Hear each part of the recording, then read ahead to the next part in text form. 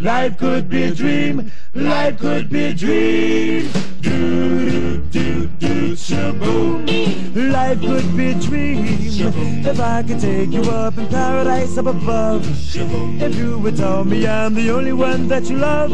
Life could be a dream. Sweetheart, hello, hello again. Shaboom and open we'll meet again. Boom. Hello there, and welcome back to my YouTube channel. This is a week in my life as a writing student here in New York City. I'm attending writing school here, so I take classes in fiction writing and TV writing, and I'm also working on my little novel. It's my baby, it's my little child, and I thought it would be nice to share with you what a week in my life actually looks like, and bring you not just the Big Apple, but the whole damn orchard. I read Giovanni's Room recently, amazing book by the way, and James Baldwin talks about how New York feels like potential. It's the potential of what could come and what could be, and I definitely feel like I'm loving being in New York because it feels so inspiring. And you know what? I have red solo cups and Jolly Ranchers in my kitchen and I'm starting the day with a cold brew, so I think I might be a New Yorker, maybe, potentially, even though I still go the wrong way on the subway every single time. It's a work in progress, guys. I'm working on it. And this week, I'm bringing you along with me. Now, one thing I'm very excited to tell you is that this video is brought to you by Valentino.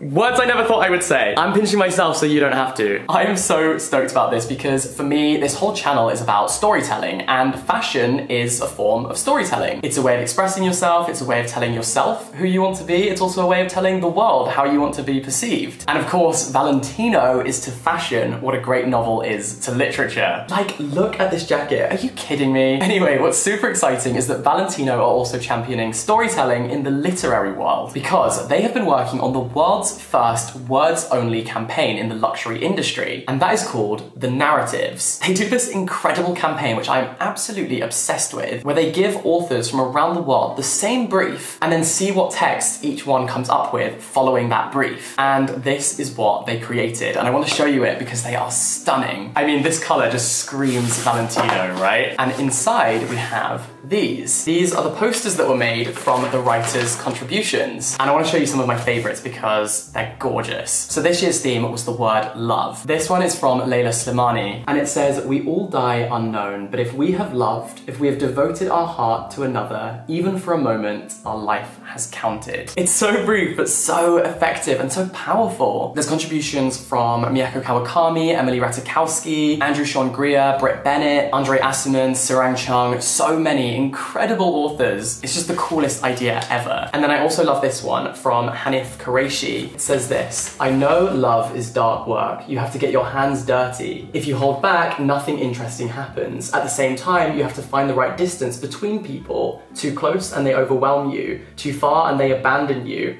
how to hold them in the right relation. It's just so cool and they basically put these posters up in independent bookstores. Like, isn't this just the coolest campaign ever? And Valentino actually collaborated with Penguin to champion and share these three books before their publication. They released these in a special box, so you have The Crane Wife, Sea of Tranquility, and then also Nightcrawling. I've been reading this this week and I'm absolutely head over heels in love with it. It's breaking my heart, but like, in a cool way, you know? I am so obsessed with this project and I'm very excited because they're doing it again in 2023. And I can't wait to see which authors they work with and what those authors create. Thank you, Valentino, for working with me on this video, but also thank you for championing literature. It's so exciting to see. Today, I'm actually going to be working on some storytelling of my own, I guess, because I've got an all-day workshop specifically on dialogue. I really don't think that dialogue is my strong suit when it comes to my writing. It's the bit that I dread when I'm writing. Like if I have a scene with heavy dialogue, I put it off for so long. And so I signed up to this workshop. It's like an all-day thing. So I get there at 10 and finish at 6 p.m. I think there's 10 of us and then a teacher and we're going to be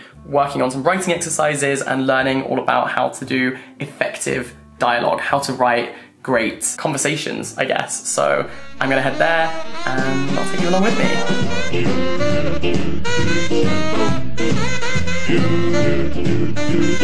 me.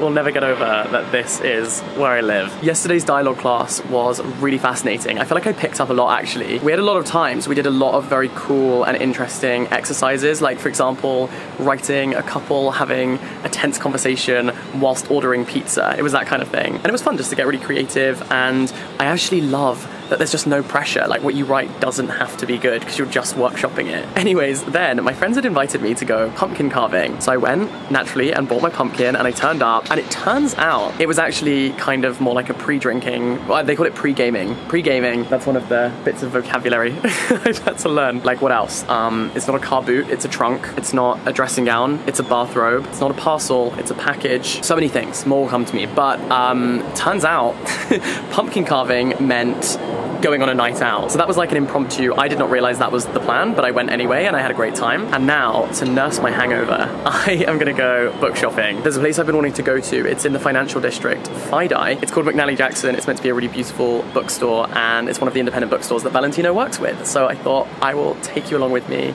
let's go get some fresh air and it's gonna be nice. That is where I'm heading, all the way over there. Um, but it is another gorgeous day here in New York City.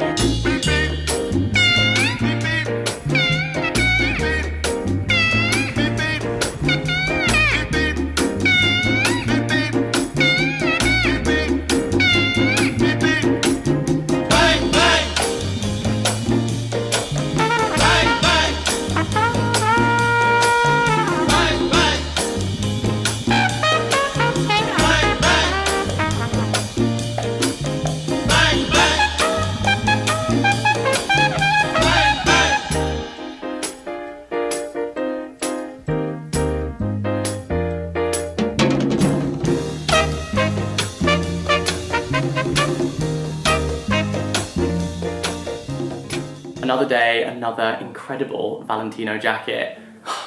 bury me in this. Like literally when I die, bury me in this. I wanna look cool in the afterlife, what can I say? Anyways, I just headed downtown with some friends. We went down the West Side Highway, I think it's called. It was very nice, very sunny, very autumnal. Good vibes. Now tomorrow is actually Halloween. So I'm not Jack right now, I'm Jack O'Lantern.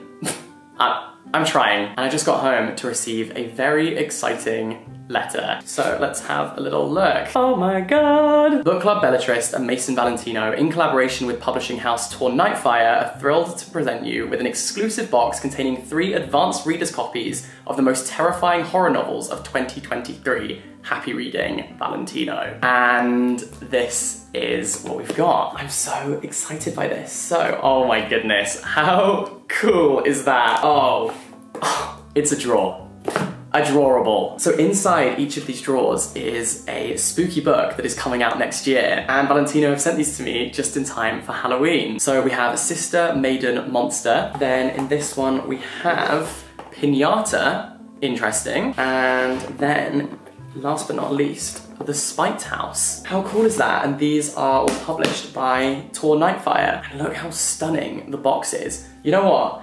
Bury me in the jacket and a life-size box of this. Like, put me in one of the drawers and then I can die happy. That would be lovely. Thank you, Valentino. How cool. Okay, drop everything because I have to tell you how freaking good this book was. Oh my god. I think this is the saddest thing I've read since A Little Life. It was so heartbreaking, heart-wrenching. And as you know, when something hurts my feelings, when it breaks my heart, I'm like, I highly recommend this book now. This is by Leila Mottley. It's written by a poet, and you can tell because every single line reads like poetry. It's so lyrical, but also it stabs you in the chest, and then it just keeps twisting with every new plot twist. So many great lines. I was absolutely just in awe of the writing. It's about a woman who will do anything for her family. She's got a heart of absolute gold. It's one of those characters who I'm gonna miss. Like now that I've put down the book, I'm gonna miss that character. And I think that's a real sign of a great book. Anyway, she ends up kind of escorting on the streets in Oakland, that's where the book is set, and she gets caught up in a kind of police scandal. And it's all about how the system fails people, about police brutality. It's about poverty, it's about love, it's about loss, it's about family. Don't crawl, run to the bookstore. Trust me, this is so great. One of my new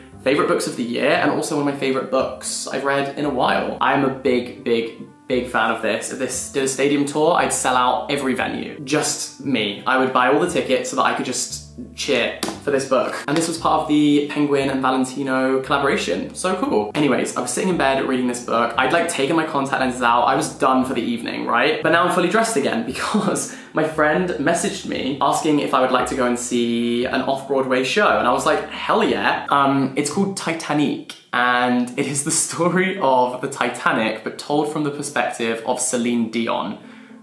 Don't ask questions. I'm not asking questions. I'm just going with it.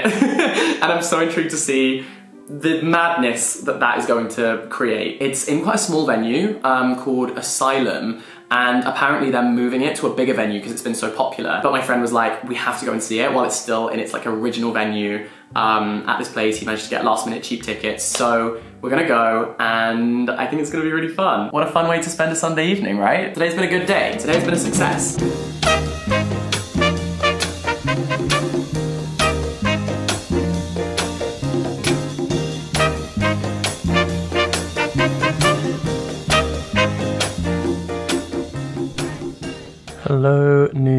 This is what I'm currently reading. It is basically a collection of essays, kind of a memoir but told through essays. And I've never read anything like it because it really draws on like other pop culture references. So each essay will be based around like a film or a book, like Rebecca, for example. And it's a mixed bag. Some of the essays I'm enjoying, some not so much. Um, I think it really helps if you've engaged with the other piece of art that she's talking about because they really serve as like a reference point for what she's discussing. But it's okay, there's some interesting insights, some great lines, and I'm glad to have read it.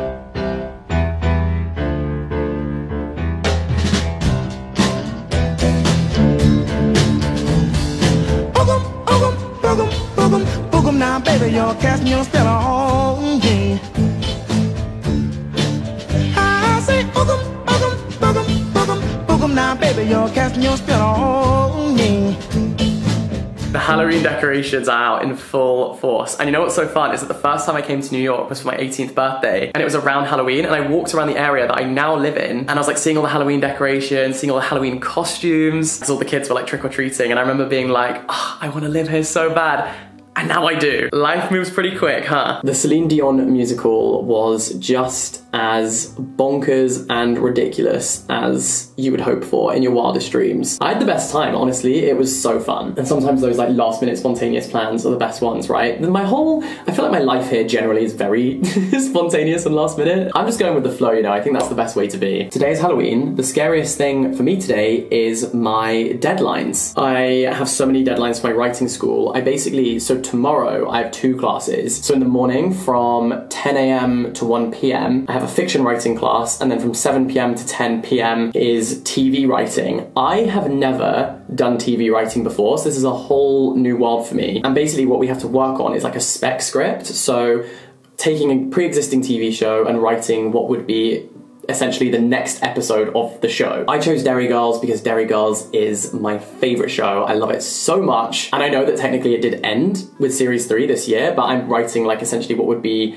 season one of episode four. It's just like a class project, you know, so we basically present twice over the course of the course. Great words there, Jack. Nicely done. So firstly, I have to present an outline of my episode, and then secondly, I have to present the episode, like the script for that episode. Now, my first submission is this week, so I basically have to submit my outline. And then next week, I, in the class, have to go into the booth. And in the booth, basically, you have to sit there and everyone in the class will give you feedback. So they'll tell you what they liked, what they didn't like, and what they think you can improve on, but you're not allowed to speak. So if they have questions or anything, you're not allowed to address them until everyone has spoken. The idea being that in the real world of writing, once you put art out into the world, like you can't sit there with someone and explain the script to them or explain your novel or your short story or your poem, like that person is going to consume your content without you to kind of hold their hand and guide them through it. I love the concept hate the prospect of the fact that I have to sit there and do it. I'm so nervous. I mean, everyone in the class is really, really nice, so it'll be fine, but I am bricking it. So all day today, I basically need to do my homework for my two classes, read um, other people's scripts so I can give them feedback tomorrow. And it's the same in my fiction writing class, like people will submit pieces of fiction. Um, so I have three like short stories that I need to read and write um, feedback on so I can give them feedback tomorrow. And I'm gonna go to a New York Public Library. They're so good. I signed up literally last week and it's changed my life. Because do you know how much a nice latte costs here? It's insane. And I can't keep paying to go and sit in coffee shops and work for the day. So the New York Public Libraries are an absolute game changer because um, obviously they're free to join and you can just go and sit in the reading room and get your work done. And it, it's a really nice atmosphere like everyone else is working too. I'm really liking working from like the public library or from bookstores because um, again the vibes immaculate. So that's how i'm going to spend my day. It's just going to be a day of like sitting at my notebook sitting with my laptop and writing and reading and reacting. and then I'm gonna earn the Halloween party. Have I got a costume yet? No.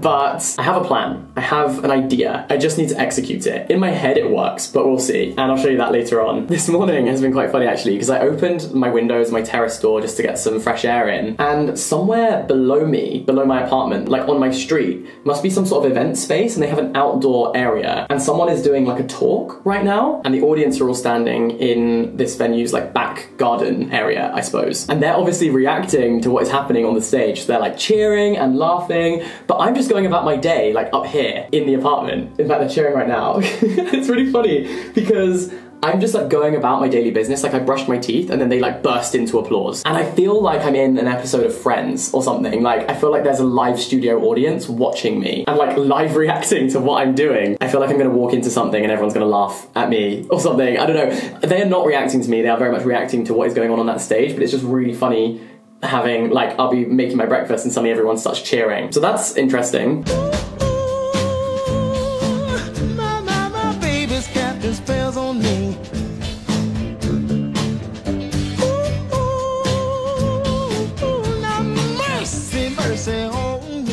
Okay, time has passed, but Halloween costume secured. I appreciate it's very much just a mask. I also have fake blood and a little outfit, so I'm gonna pair this with like black tie, but with the bow tie undone, which mostly is just because tying a bow tie is the bane of my existence. It's the hardest thing. Even when you think you can do it, you, you still can't. But I thought it'd be pretty cool to do like an open button, like bow tie thing, and maybe like some blood on my neck. The costume is actually inspired not by Ariana Grande, not by Bugs Bunny, but of course inspired by a book. The book is called Bunny. Um, it's by Mona Awad, and basically it's about this like murderous cult of girls, and they're like sickly sweet, dress in summer dresses, eat sugary food. They're all like trust fund babies, they're writing students, and they call each other bunny. But everything is not as it seems, and what they actually do is they have this like murderous cult. They have these secret meetings where they sacrifice bunnies, turn them into men, and then quite often like kill the men. And so I basically thought that I would be one of the like in-between stage bunny men things, right? But I know full well everyone I see is gonna be like, oh, Ariana Grande, Dangerous Woman. And you know what? That's If that's what you want to make of it, then that's fine. I actually don't know how much I'm going to be able to film tonight because it's going to be a little hectic. Um, I'm going to a friend's house and we're all getting ready together. And then they want to take me to the Halloween parade, which I think is like the ultimate tourist thing. But like, I'm a new New Yorker, I need to go see it. So there's this big parade and then we're going to a venue called Sleep No More. And Sleep No More is essentially like immersive theater. But on Halloween, they close it down early and have a big party in the venue where the performance is. So it's like six floors of a hotel kind of thing. And you have free reign, you can walk around, there's an open bar, live performances, there's like cabaret, that kind of thing. So I think it's gonna be really, really cool. I don't think I can film very much, but I will try. So I guess here is my New York Halloween. Let's go. Now, baby, your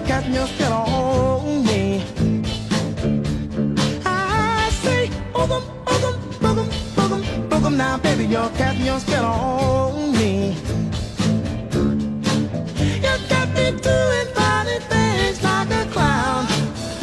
Look at me. Oh, good morning. I'm currently regretting every drink I put into my body last night. Whose idea was it to put Halloween the day before I have school?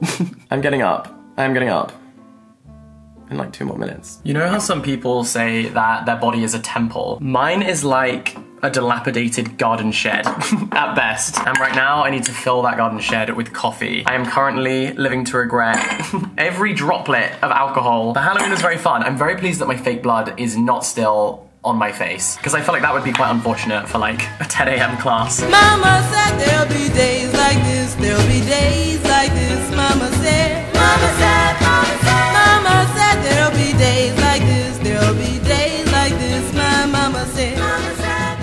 Just wrapped class one of the day and I've come home to make some lunch. By the way, how cool is this Valentino jumper? I love it. And funnily enough, today's class was actually also on dialogue, um, which is what my workshop was on at the weekend. So hopefully by the end of this week, I can stop dreading dialogue. I don't know if I'll end up keeping this in the video, but I thought I could maybe read you something that I wrote in class. Bear in mind, I wrote this in five minutes, okay? So if you think it's bad, Keep it to yourself. Basically, the assignment was to write a dialogue exchange between two people, starting with the line, Did you ever think you'd see me like this? And that's the kind of thing that happens in my classes. Like, we'll be given a line and then we just go from there. So, here is my dialogue, I guess. This is my little conversation I wrote. Did you ever think you'd see me like this? He said, scooping up the final goldfish with a forest green net. I suppose in another lifetime, I imagined it would have been you and I selecting which fish to bring home together. I said, I'd like to think I'd go for something a little more exotic than goldfish. You always did wish for more for yourself. And look where that got me.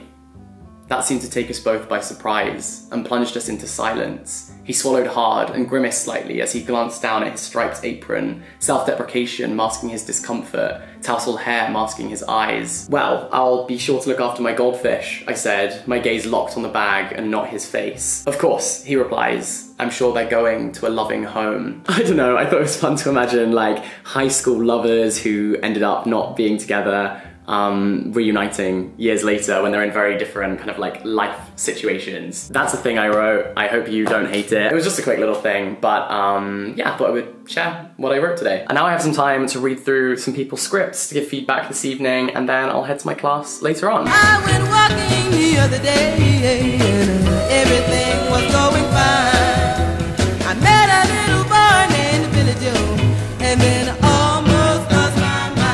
Oh my gosh, it's so dark. Can you even see me? I just wrapped up my evening class. It was really fun actually. The problem with taking a TV writing class is that every TV show that we watch or gets referenced, I'm suddenly like, now I have to watch this. And I'm actually heading to a friend's birthday party. We're doing this like VR pizza night. He works in a theatre, so he's hired out the theatre and he's got two VR sets. So basically, you know how, I don't know if you've ever done VR, I did it for the first time like last week and it like messed with my brain so much. But when you do VR, you have a very small area that you can use and like I just kept walking into things. There's always the risk that you're gonna like smash the television or like break some furniture while you're in the VR world. And so he's rented this huge theatre space. So you basically have completely free reign. You can make a huge area to do the VR in, and I think it's gonna be really fun. So I'm on my way to pizza and VR night. Life is hectic right now, and I love it.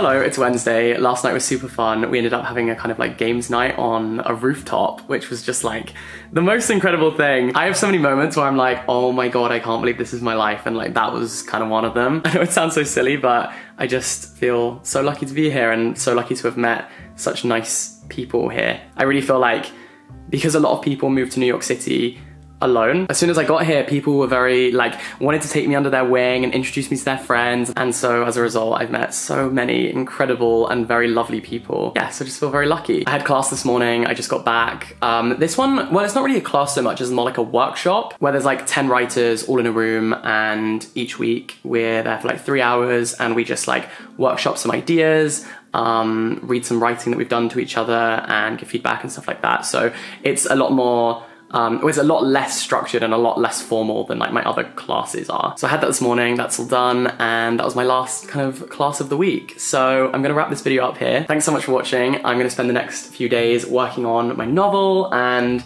um, finishing my outline for a script I need to submit tomorrow. And yeah, thank you so much for watching. A massive shout out to Valentino for sponsoring this video. I what is life? That is so insane. Thank you for making this a possibility for me. It means the world. Um, I'm so grateful. All the best. Stay in touch. Have a wonderful day, and I'll catch you next time. Bye bye.